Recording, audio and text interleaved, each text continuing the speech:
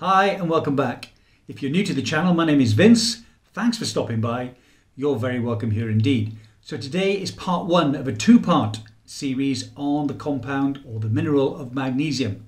Uh, magnesium, much like vitamin D, not much is known about it and it is a very powerful agent in the anti-aging field.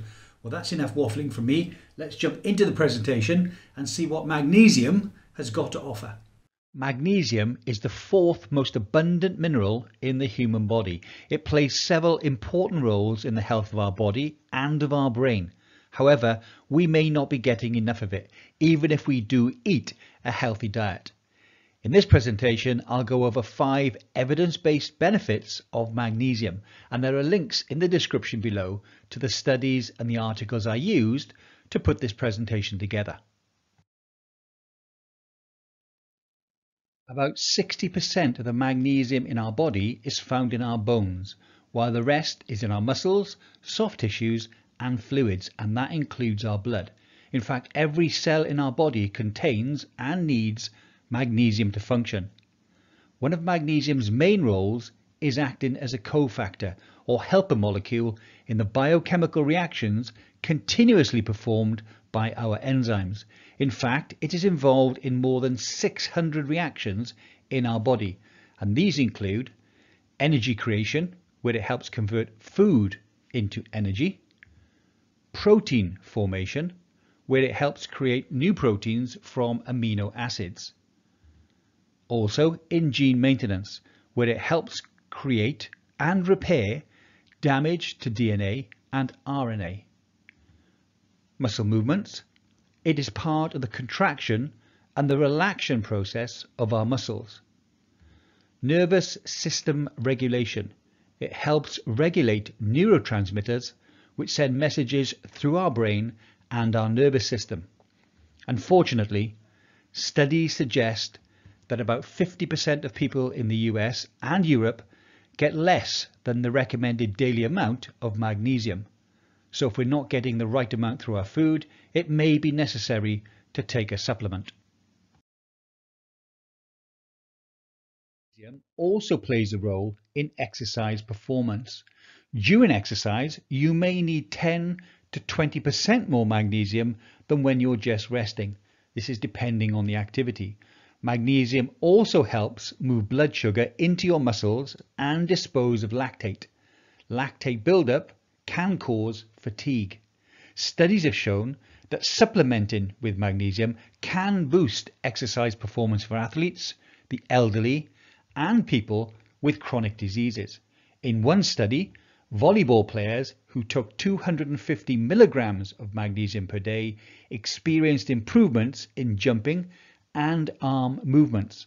In another study, athletes who were supplementing with magnesium for four weeks had faster running, cycling and swimming times during a triathlon. They also experienced reductions in insulin and stress hormone levels. Let's now look at magnesium and fighting depression. Magnesium plays a critical role in brain function and mood, and low levels have been linked to an increased risk of depression. One analysis in over 8,800 people found that people under the age of 65 with the lowest magnesium intake had a 22% greater risk of depression. Some experts now believe the low magnesium content of modern food may cause many cases of depression and mental illness. In a randomized controlled trial in depressed older adults, 450 milligrams of magnesium daily improved mood as effectively as a known antidepressant drug. Let's now talk about magnesium and type 2 diabetes. Studies suggest that about 48% of people with type 2 diabetes have low levels of magnesium in their blood. This can impair insulin's ability to keep blood sugar levels under control. Research also indicates that people with low magnesium intake have a higher risk of developing diabetes in the first place. One study, which followed more than 4,000 people for 20 years, found that those with the highest magnesium intake were 47% less likely to develop diabetes. Another study showed that people with type 2 diabetes taking high doses of magnesium every day experienced significant improvements in blood sugar and hemoglobin A1C levels compared to a control group. However, these effects may depend on how much magnesium you're getting from your food. In a different study, supplements did not improve blood sugar or insulin levels in people who were not deficient. So as I've always said, get a blood test and then supplement with only what you are deficient in. Studies have shown that taking magnesium can lower blood pressure. In one study, people who took 450 milligrams of magnesium per day experienced a significant decrease in systolic and diastolic blood pressure. However, these benefits may only occur in people who do have high blood pressure.